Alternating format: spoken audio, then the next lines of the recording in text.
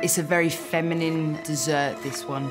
It's got beautiful pink colours. It's got chocolate in there. It's got fresh rhubarb and really delicate rose. So it's all of my favourite things in one dessert.